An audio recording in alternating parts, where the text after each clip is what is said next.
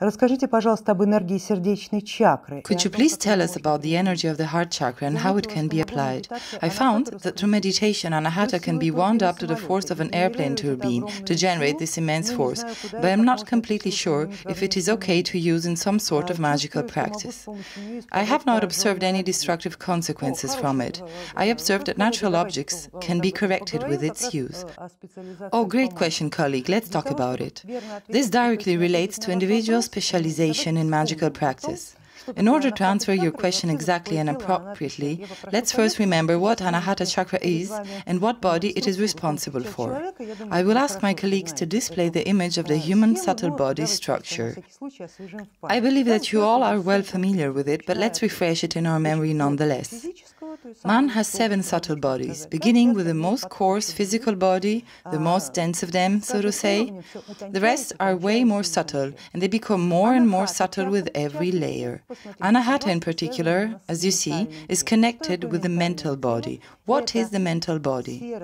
It is a realm of consciousness that is responsible for memory, for words, for information, for communication. If your anahata works well, this means that your mental body is active, more active than any other body.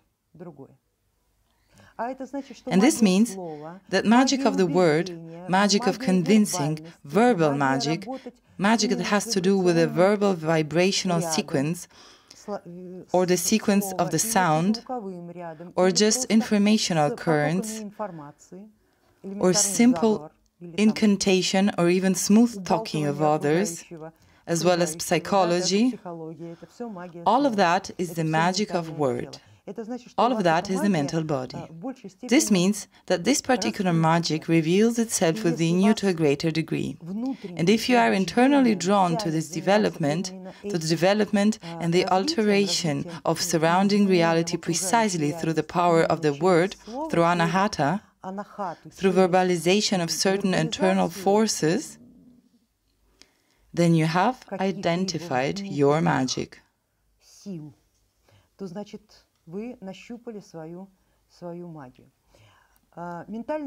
Mental body and the Anahata chakra are very distantly connected to the magic of love, colleagues.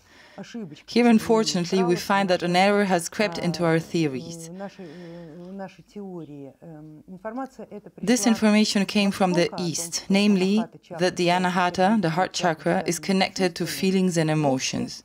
Absolutely not. Feelings and emotions belong to our Manipura chakra, meaning the astral body. But the mental body and the Anahata chakra represent love, as a means to establish communicative relationships. And that is not really love. Communication doesn't necessarily have to be established on the power of love.